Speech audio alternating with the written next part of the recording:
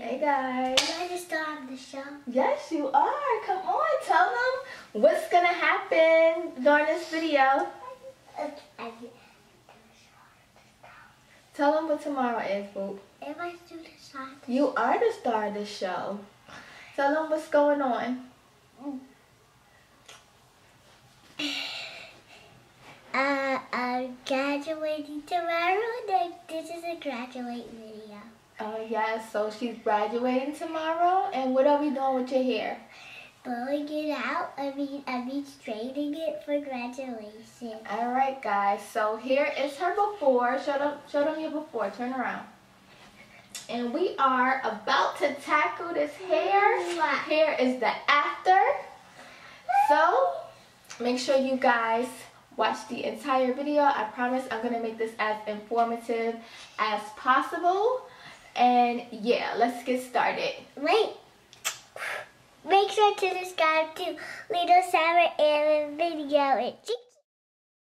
Hey guys, so I'm gonna start this on freshly washed hair. I am washing her hair with the Tailored Beauty moisturizing coconut cream shampoo. And um, if you guys don't know, I have moved, so our wash routine is a little bit different. I am actually utilizing the utility sink in my laundry room.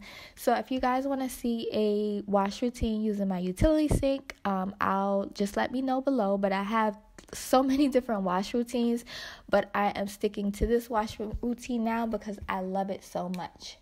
So now it is time for me to um, condition her hair. So I've used a combination of the Tailored Beauty Coconut Cream Conditioner as well as my Grow Thick Oil because I want to kind of condition and hot oil treatment her hair because I will be blowing and flat ironing her hair. I want to make sure it's so moisturized and detangled as well. So I am detangling because her hair is going to have heat on it. I want to make sure it is to the best level before I add the heat to her hair.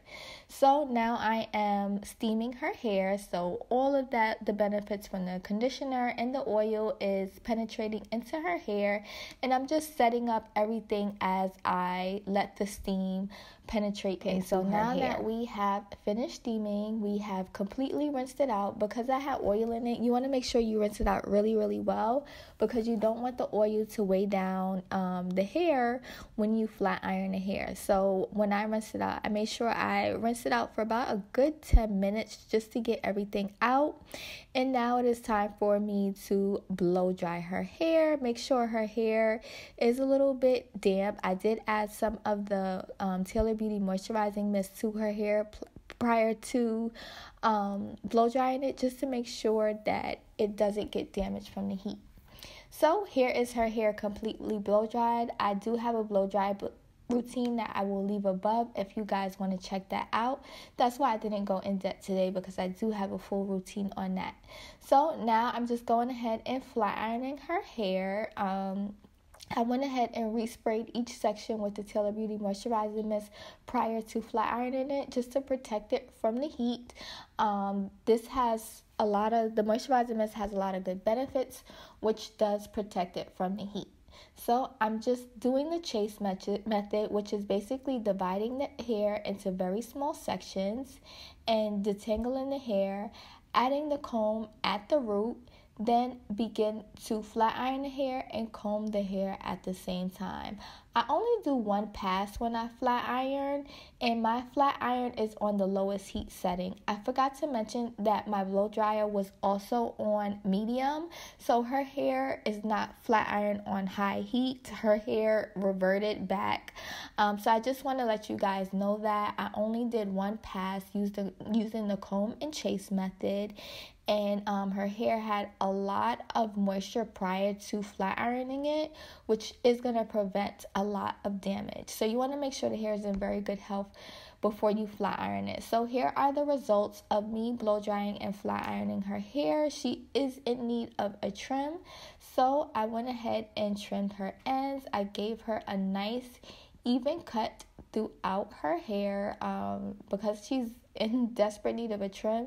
And also, I didn't trim as much as I would like to have trimmed this time around. So, I am going to trim her hair in about two months. I usually trim her hair about every four months, but I want to go back and trim a little bit more. I just didn't want to give her such a drastic trim this time around.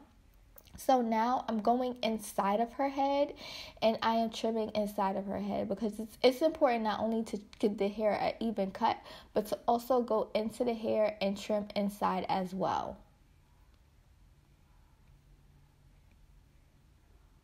Okay, so here is the final results. Her hair is nice and straight. My goal is never to get her hair bone straight because she's four years old and I don't want to cause any damage. So here is her hair the next night. Um, we did put flexi rods in her hair just because her hair started to revert back due to the humidity. And here is her at her graduation.